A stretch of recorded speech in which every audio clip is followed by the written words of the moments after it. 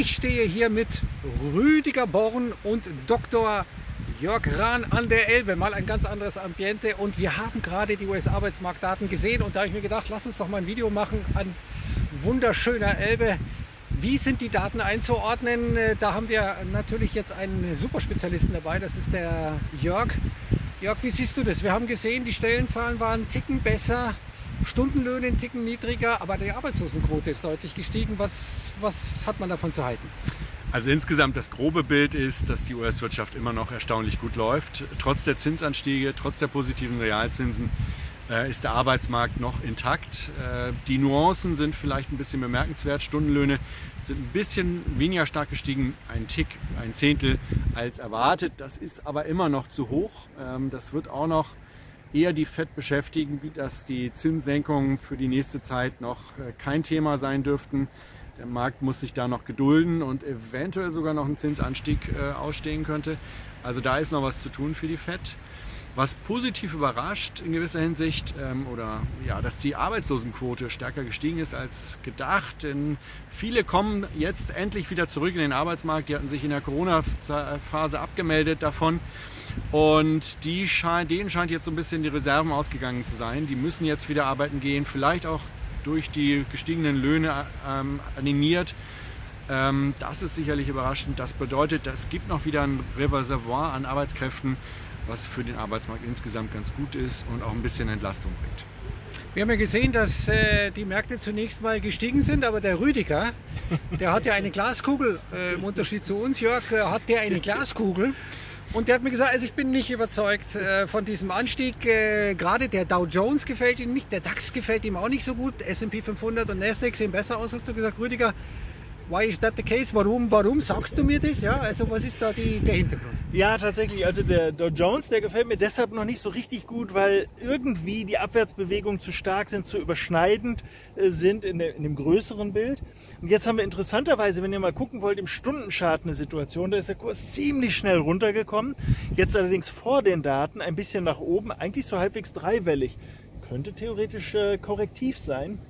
Und jetzt ist das Spannende, noch ist das kein Short-Signal, aber es ist eine Indikation, wenn der Kurs jetzt das Zwischentief dieser dreiwelligen Aufwärtsbewegung triggert, dann wird das von vielen Charttechnikern als ein Verkaufssignal, also als ein Trigger für die Short-Seite gesehen. Also noch nicht zu früh zucken, das ist ja vielleicht nicht gut, denn die erste technische Bewegung, die war nach oben, äh, jetzt nach den Daten. Aber wenn er da durchgeht, vielleicht mit den ISM-Daten heute Nachmittag noch, mal sehen, dann könnte das was triggern. Übergeordnet also negativ und vielleicht im kürzeren Bild auch. Aber nicht zu früh zucken, das könnte noch gefährlich sein. Also zumindest mal vorm Wochenende nicht äh, schnell schießen. Okay, wir haben gesehen, der Euro ist natürlich jetzt erstmal auch gestiegen oder der Dollar leicht gefallen, aber so richtig knallen tut das nicht, äh, weder bei den US- Futures jetzt, was die Aktienseite betrifft, noch, äh, dass wir sehen, dass jetzt der, der, Dollar abverkauft wird. Gestern ja Dollarstärke überraschenderweise, vielleicht äh, zusammenhängt mit dem Monatsende.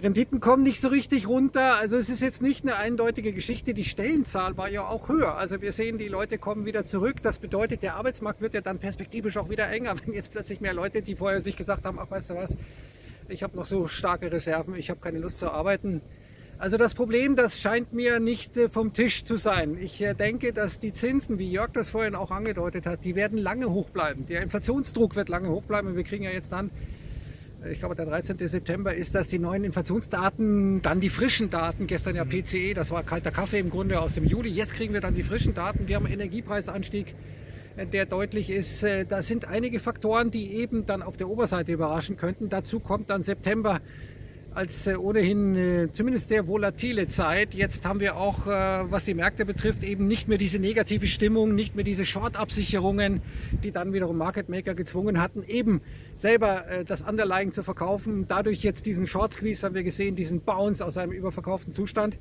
Das könnte jetzt zu Ende sein.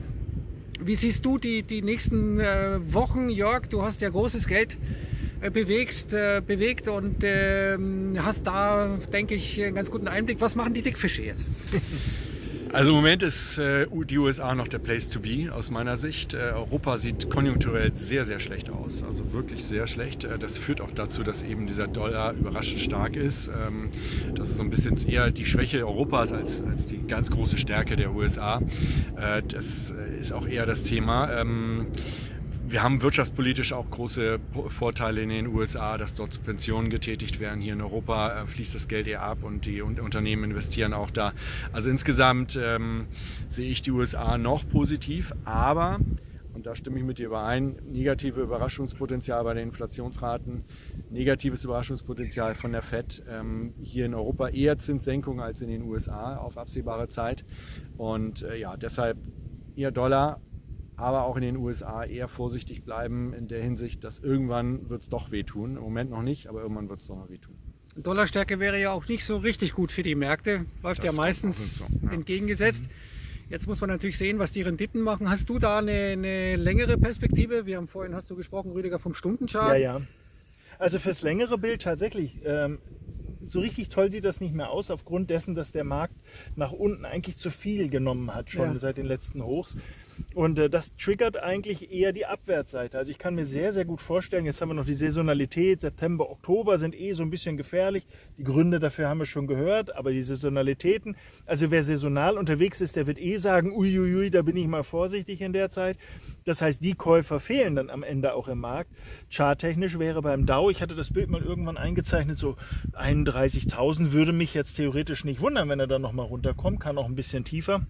Wäre dann quasi die nächste Pausenmöglichkeit oder Wendemöglichkeit, dass es danach möglicherweise nochmal eine Jahresendrallye gibt, aber eben erst danach. Also ich traue dem Braten noch nicht so sehr. Alle Bewegungen, die wir nach oben haben, werden sehr häufig konterkariert durch schnelle Abwärtsbewegungen. Das ist ja auch ein Zeichen, wenn die Marktteilnehmer zwar kaufen, aber bei jeder Gelegenheit sofort wieder